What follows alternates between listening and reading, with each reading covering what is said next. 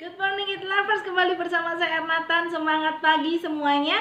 Seperti biasa, saya mau sarapan. Tapi hari ini sarapan saya khusus jajanan tradisional ya.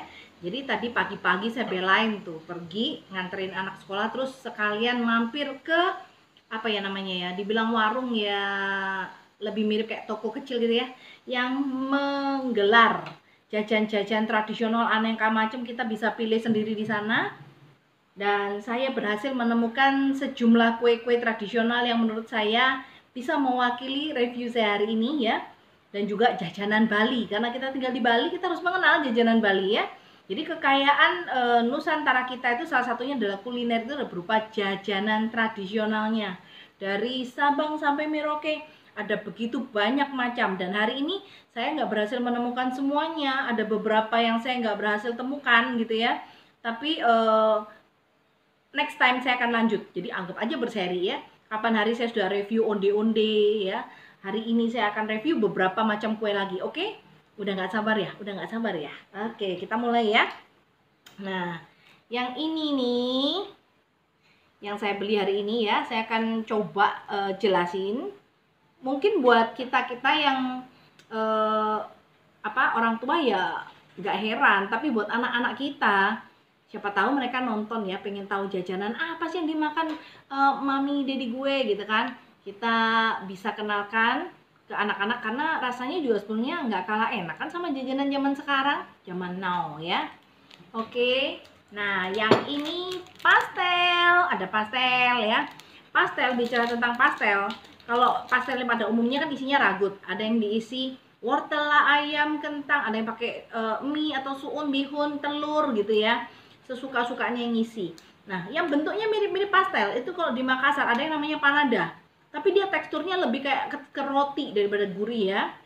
Digoreng isinya bisa ikan karena di Makassar, daerah Sulawesi sana kan banyak ikan-ikanan ya. Ada yang diisi ikan atau daging ya. Dan biasanya teksturnya mereka kasih sedikit pedas. Jadi itu bentuknya tapi mirip seperti ini setengah bulan ya. Lalu ini namanya Pika Ambon. Nah, Pika Ambon ini yang asli, yang uh, maksudnya pada umumnya itu harusnya itu bentuknya itu kotak. Lalu kalau dilihat di sini ada teksturnya ya.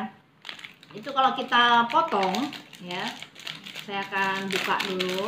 Kalau kita belah, nah, teksturnya itu seperti ini garis-garis garis-garis gitu. Jadi nggak mulus kayak cake tapi dia bergaris-garis. Nah Bika sendiri ngomongin Bika selain Bika Ambon tapi jangan salah ya Bika Ambon tuh bukan dari Ambon. Bika Ambon yang enak itu justru terkenalnya di Medan ya. Jadi uh, Bika Ambon tapi di Medan. Nggak apa-apa kan yang penting kan enak ya kan. Nah ada juga bika yang dari tempat lain ya. Kalau di Surabaya itu ada yang namanya bika penele itu bentuknya nggak kayak begini lain lagi dia. Hari ini saya nggak nemu dia kayak bunga mekar warna-warni atasnya the pink hijau putih seperti itu. Namanya juga bingkang bikang ya bikang. Lalu ada juga yang di Kalimantan ya eh, itu namanya bingka. Tapi kalau dilihat dari teksturnya hmm. bingka itu lebih menyerupai kue lumpur daripada bikang itu tadi ya. Jadi kadang itu ada persamaan nama tapi tekstur beda. Ada yang istilahnya um, mirip-mirip ya. Pokoknya itulah kekayaan kita untuk motif inovasi dan kreasi. Lalu yang ini nih. Dua ini ya. Ini namanya lapis. Kalau ini kan udah nggak nggak umum ya. Lapis itu bisa cuman coklat putih coklat putih hijau putih hijau putih atau terserah kita warnanya. Tapi yang sekarang ngetren tuh atasnya ada pink-pinknya gini lebih cakep ya. Dari tepung beras. Jadi lapis tuh dari tepung beras. Kemudian ada ini yang segitiga nih namanya wingko ya. Wingko ini aslinya dulu bentuknya itu bulat ya. Wingko ada dua macam ada wingko kering ada wingko basah. Nah yang ini yang agak basah jadi agak lunak-lunak gitu. Kalau yang kering dia lebih crispy lebih apa ya lebih keras ya. Biasanya jadi awet dibuat oleh-oleh karena terbuat dari kelapa biasanya kan nggak terlalu tahan lama. Nah wingko ini yang terkenal itu dari Semarang yang enak. Padahal aslinya wingko itu kenapa namanya wingko babat? Karena dia aslinya itu dari daerah Babat ya. Jadi eh, ya kembali lagi sekarang apalagi dengan kecanggihan sosial media, hampir seluruh wilayah di Indonesia bahkan teman-teman kita yang di luar negeri hidup di luar negeri aja bisa bikin jajanan tradisional Indonesia ya masa kita nggak makan mereka aja di luar negeri ya kalau menjamu teman atau ada acara itu mereka sajikan kue-kue tradisional Indonesia. Lah kita yang di Indonesia sendiri itu kok malah makanannya itu cake dan kue-kue dari luar itu kan ya rada-rada gimana gitu ya. Lalu yang dua ini kelihatan nggak? Saya buka aja ya. Ini namanya talam. Ada yang bilang talam ada yang bilang lumpang lah pokoknya kalau aku bilang talam. Ada yang asin ada yang manis. Kalau yang asin biasanya dari santan ya kayak gini ada pakai labu atau kadang pakai nangka. Kalau yang manis ini dari gula merah ya. Nah ini e, dari tepung beras. Jadi kadang kenyal-kenyal gitu. Kadang anak-anak tuh tidak terbiasa karena e, jarang kan makan kue-kue yang kenyal-kenyal gitu.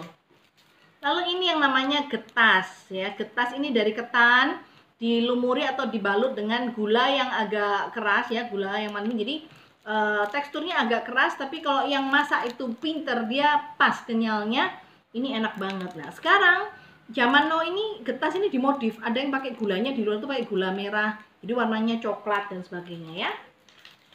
Lalu ada yang dibungkus daun bentuknya segitiga. Ini namanya kue bugis. Kue bugis ini eh, apa namanya dari ketan dalamnya itu ada unti. Tahu unti nggak? Unti itu e, parutan kelapa yang dimasak dengan gula merah ya. Nah bugis ini sendiri ada beberapa macam. Kalau yang ini dia pakai ketan hitam. Makanya e, warnanya jadi ungu hitam gini ya. Tapi ada juga yang hijau. Kalau hijau berarti pakai daun pandan atau daun suci tapi bentuknya selalu kalau bugis seperti ini ya.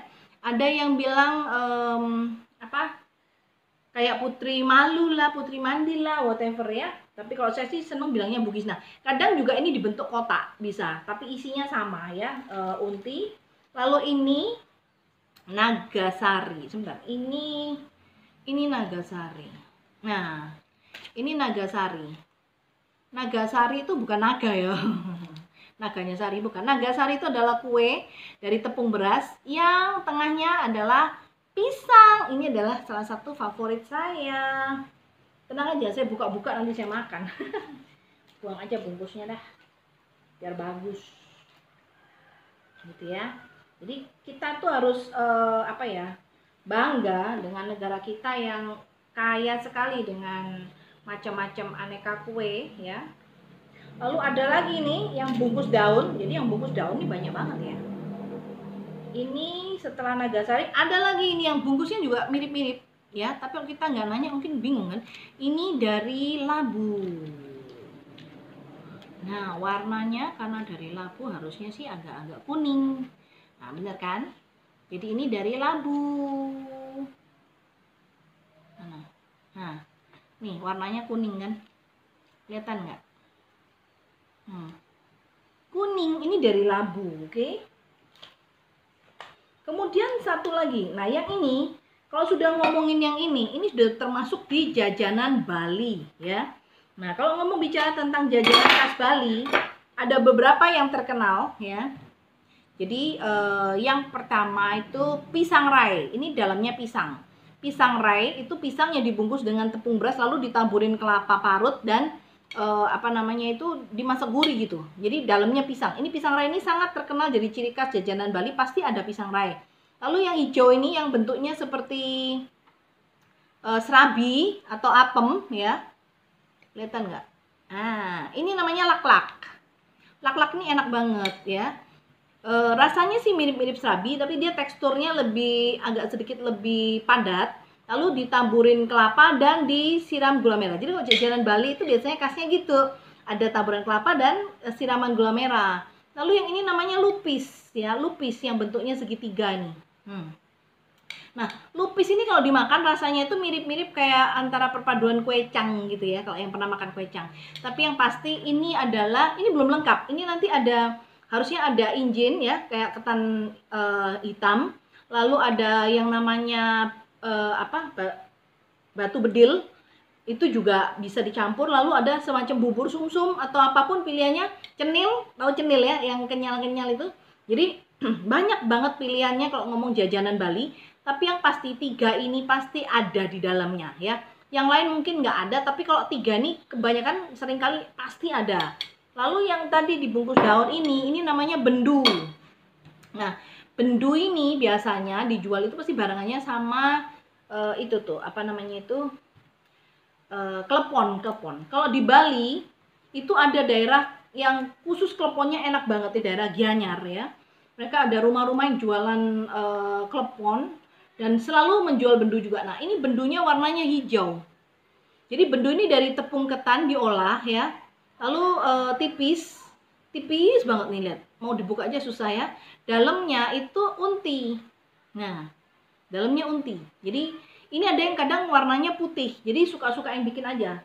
Lalu jajanan Bali yang lain juga masih ada yang namanya corot. Nah, corot ini corot ini dibungkus pakai janur, bentuknya kayak corn gitu ya, panjang kalau dibuka itu dia dalamnya kayak dari apa ya eh, tepung beras dimasak dengan gula jadi bentuknya bisa kenyal kenyal kenyal kenyal gitu ya kayak ekor cicak dia bilang tuh kayak bentuknya corn tapi dia nggak padat dia kenyal gitu. Itu enak banget. Jadi kalau kita ngomong tentang kekayaan uh, kuliner Nusantara Indonesia ngomong jajannya aja bisa sehari semalam nggak habis-habis ya. Ini aja udah berapa menit tadi ya padahal baru sekian. Belum lagi ada kue lumpur ya masih ada lagi jajanan eh, jajanan-jajanan yang lain pukis masih ada serabi. Serabi nanti mungkin kita akan bikin review khusus ya karena serabi ini termasuk jajanan yang uh, cukup elit terutama di daerah Solo Jawa Tengah itu bahkan langganannya Pak Presiden. Lalu apa namanya itu uh, langganannya Keraton Surakarta ya. Tapi uh, kapan hari saya pernah review kayaknya. Tapi nanti mungkin kita akan bikin edisi khusus serabi serabian untuk gimana ya. Doain aja. Lalu masih ada jajanan lain lagi ya. Masih banyak banget jajanan-jajanan yang belum diangkat hari ini.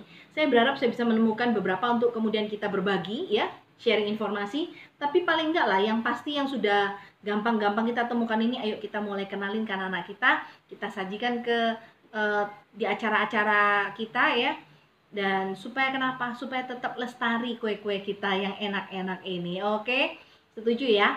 Oke jadi uh, sampai di sini review saya hari ini. Saya mau makan dulu saya akan menikmati sarapan saya dulu. Saya berharap kalian juga menyukai kuenya ya. Semuanya enak-enak. Kalau nggak enak nggak dibeli ya kan And see you on the next review. Tetap semangat, tetap sehat, dan tetap bahagia. Kembali lagi di video berikutnya nanti. Jangan lupa ya, untuk yang satu ini kasih like dan subscribe dulu. Dan saya berharap di video berikutnya saya bisa memberikan yang lebih baik lagi. Oke, okay, see you on the next video and review. And bye-bye.